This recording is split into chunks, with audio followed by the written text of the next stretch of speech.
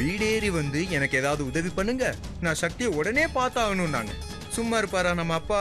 Left ரைட்டுன்னு வாங்கி விட்டாரு. என் பங்குக்கு நானும் கத்தி விட்டேன். ஆனா இவங்களுக்கெல்லாம் பாவன்ற ஒண்ணு பார்க்கவே கூடாதுடா சக்தி. அந்த இடத்துல நீ இருந்திருந்தேன்னு வச்சுக்க நடந்திருக்கிறதே வேறையா இருந்திருக்கும். ம் இங்க பார் சும்மாவே இங்க வீட்டுக்குள்ள ஏகப்பட்ட குளறுபடி. இதுல இவ வேற வந்து உதவி கிதவின்னு கேட்டா செம்மையா டென்ஷன் ஆயிடுச்சு எனக்குலாம்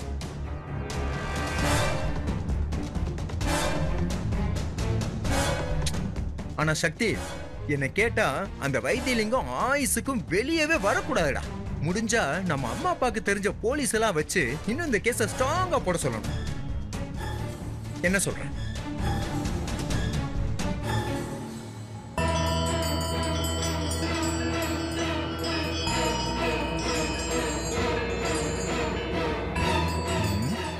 டேய் என்னடா நான் பாட்டு பேசிட்டு இருக்க? நீ சைலண்டா உட்காந்துருக்க இல்லை.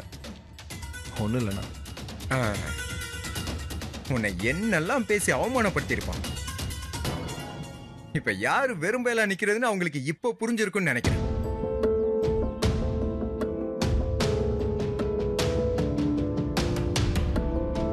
இன்னொரு விஷயம் தெரியுமா? அவங்க வீட்டை ஜப்தி பண்ண போறாங்களா நியூஸ்ல சொன்னாங்க.